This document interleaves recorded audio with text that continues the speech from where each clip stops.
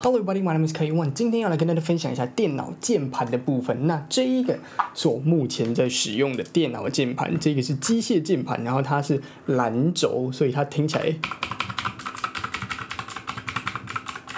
听起来就是清脆的感觉。所以平常打字就是哒哒哒，好像打字机。就这个键盘是全尺寸的，所以它包含了数字键跟我们上下左右键跟 Home 啊、Page Up、Page Down 之类的。到目前使用的软体都是右手在滑鼠上面，左手在键盘上面，那这样子我中心就有点偏右，就变成我的右手要伸远一点，左手就变成这样子。所以我希望可以买一个比较小的键盘，就去掉我们的数字键跟我们的上下左右键，这里全部去掉。所以我们就买了今天的六十趴键盘，就是这个 Ducky One Two Mini RGB 版本。那这个是六十趴尺寸的版本，那去掉了数字键，去掉了箭头 Page Up Page Down。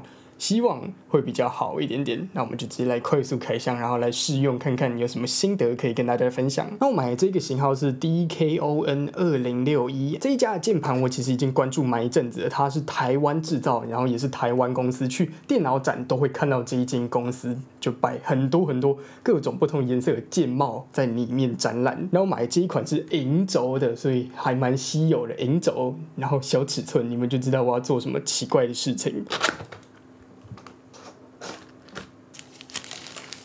OK，这就是我们的超级迷你的 Ducky One Two Mini 六十帕键盘，哇塞，真的超小。我们先来听听按键的声音。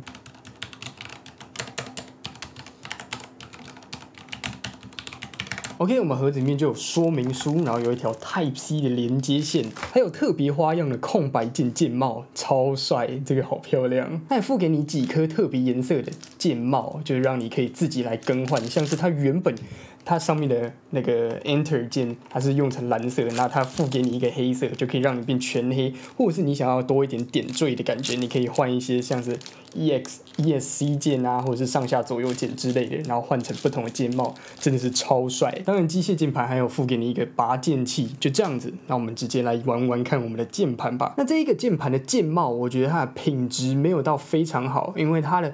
边缘都有很多的毛边，那有的键还有一些缺角啊，或者是有一点瑕疵，就变成没有到很精致，但是就是整体算是还可以接受。那我们键盘上面的空白键啊，Enter 跟返回键这种比较长的按键，它下面都有两个辅助的插销，就。让你的按键更稳定，就按起来不会晃来晃去。有一些比较便宜的键盘，它中间而已，然后它旁边没有，它就会变成晃来晃去。就按一下，然后它就会呜呜呜。买这个六十帕尺寸的键盘，我当初有一个疑虑，就是说，哎。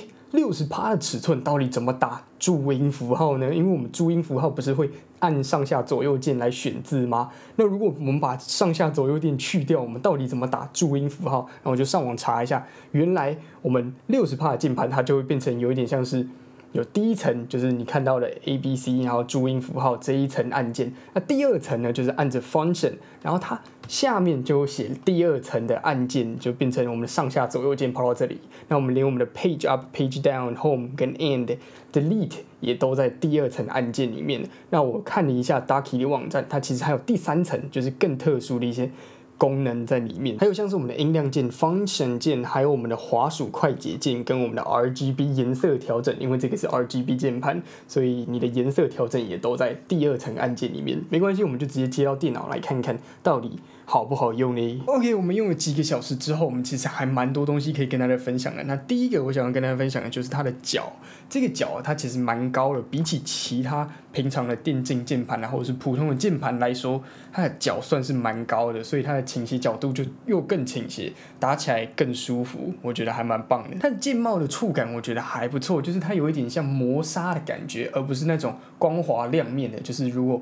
其他亮面键盘键帽啊，就是你指纹啊，或者是有油油的手去打字，它就看起来油亮亮。但是这个就不太会沾什么指纹在上面，就是有一点磨砂的感觉，我觉得还不错。这个键盘是 RGB 背光键盘，那它每一个字文字都有开动，然后让那个光可以让它出来。但是我就发现有几个按键它的开动。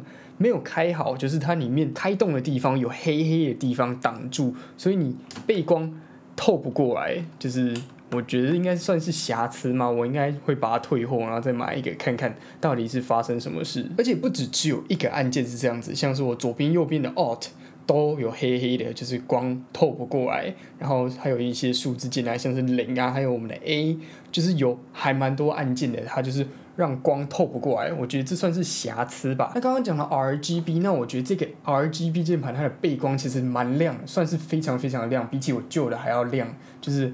还蛮赞的，它可能是因为它下面这里面的框框，就是键帽下面的框框是白色的，所以反光看起来更亮。但是整体看起来就是很亮，我觉得，而且又很鲜艳，我觉得还不错。下一个点就是我觉得没有太精致的部分，就是它下面其实还蛮容易看到它里面的螺丝的部分，所以你在键盘的正中间里面就可以直接看到它螺丝在里面。啊，左边右边也都有螺丝在里面，就变成。你看一个漂亮的键盘，然后一看过去就看到螺丝，我觉得应该也不太好。像我旧的键盘，它的螺丝都在底部，从后面钻进去的，所以我正面的时候看起来是非常非常干净整齐的。但是这个就直接一眼就看到螺丝，我觉得。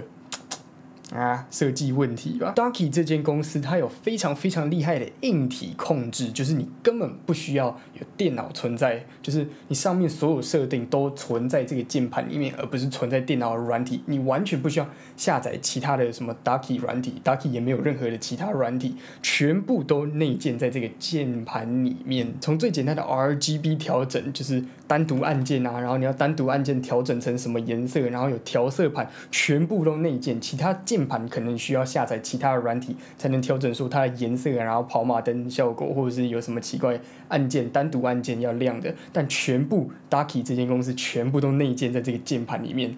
不用下载任何软体，我觉得这个是超级厉害的。然后最下面这一排的功能按键，全部的位置都可以调整，所以我已经把我的 Function 跟 Windows Key 两个对调，我们就可以轻松调整，完全不需要担心还要下载软体的问题，直接全部硬体解决，真的是超级赞。刚刚我还有玩到一个超级厉害的，就是它可以改变按键的功能，像是我可以按 A，然后我就可以。贴上之类的，那我可以按 Z，然后我就复制之类的，就很厉害。它这全部都是硬体，耶，超猛！你就可以改变你按键的功能，这超瞎。那我刚刚也有打一下字，就是变成打注音的时候，你要按上下去挑字的时候，你还要按 Function，然后按上下，这个可能需要再习惯一下。然后还有 Delete，就是也要按 Function，你才能按 Delete。还有一些上面整排的 Function 键都是要按 Function。然后再按数字键，就是变成有些没有单独的按键，就是没有独立的按键，你就要组合按键。所以如果你软体需要常常使用到 Delete 或者是 F1 的 F 十二的话，你可能就不太适合这种六十帕键盘，因为你变成你要按 Function，然后再去按这些 Function 按键，就会变得比较麻烦。再补充一下它的键帽的设计，它的键帽设计它有一点。这样的曲线在上面，所以其实每一个按键都还蛮分明的，就是你不太容易就是摸摸摸，然后就会按错。那最后我来讲一下一个还蛮特别的功能，就是它可以按 Function，然后这里全部都变成滑鼠的按键，像是滑鼠的上下左右、左键右键跟。滑鼠的滚动上面、滚动下面，所以你其实用一个键盘，你就完全不需要滑鼠，就变成你用键盘就可以控制滑鼠，你的游标在哪里，然后左键、右键复制贴上，你要处理任何事情，全部都可以用单独的键盘就可以解决。但是它的移动游标速度真的是非常非常慢，就一你从左到右可能要超级久。那如果你有滑鼠的时候，当然还是用滑鼠会比较快。但是你刚好没有滑鼠的时候，哇，键盘真的是。超猛！你直接用键盘可以控制你整台电脑，真是还蛮特别的一个功能。我自己是还蛮喜欢这个六十帕键盘，那它所有的功能也都符合我的工作需求。那虽然 Ducky 这间公司做的键盘都算蛮便宜的，比起其他公司像是海盗船啊，或者是其他公司动不动就五千多块键盘，那这个算是比较便宜的机械键盘。然后你又可以拿到比较好的轴，像是我们现在用的是银轴。那但是它的品质，我希望可以。再更好一点，就是至少看起来是精致的，而不是键帽都有毛边啊，然后有瑕疵、凹凸凹凸的。嗯，品质变好，我就觉得非常非常可以推荐给大家。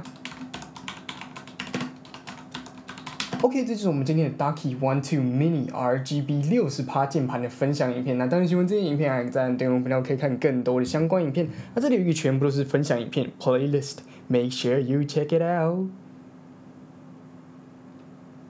My name is Kaiwan, and I will see you guys next time. Bye bye.